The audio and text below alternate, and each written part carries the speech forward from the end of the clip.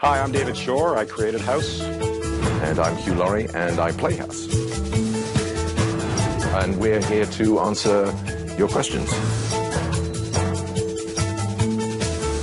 David, Rita would like to know how far ahead you plan your stories, at what point you make changes. We, we sort of get together, the writer's room get together uh, a couple times a year, two, maybe three times a year, and map out the stories as we're going ahead. In terms of the big picture of the stories and the basic medicine of the stories, we sort of map out at that point in time.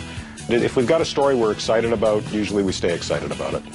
Uh, and then we see where that goes, and then before we're done with that, hopefully we start working on the next one. So at the beginning of the year, I'm fairly well ahead.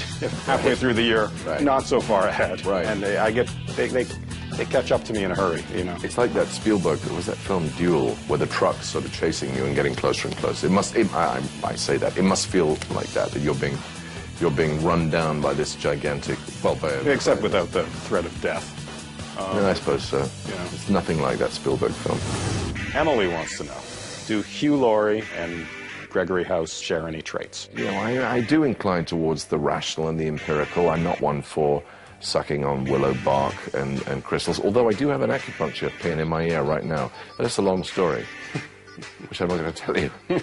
Uh, but it is in there. It's in there just to test airport security machines. We'll see. We'll see how it goes. If I now have an acupuncture, well, Yeah, no, I have to rethink yeah, the last seven years. Um, no, very smart man, very funny man, very, very witty, and the pleasure to work with. Very rational, just very intellectual.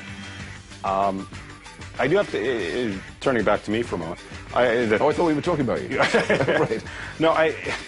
Every now and again, when I do say something At untoward, work or socially? socially. I I will insult somebody and they'll go, oh, that's Dr. House. But eight years ago, if I did that, I just alienated a couple, you know. Right, that's funny because I've never actually tried that. I, I sometimes think of it, and I then I see in people's faces that they're half expecting it. And when I say, you know, when I hold the door open, I'll go, "Thank you very much. That was a lovely slice of cake." They look a little bit disappointed. You know, they wanted some scathing comment about the cake. Yeah. And for me to say that was nice cake is, well, that's not much of a story, is it? I've got nothing to tell now.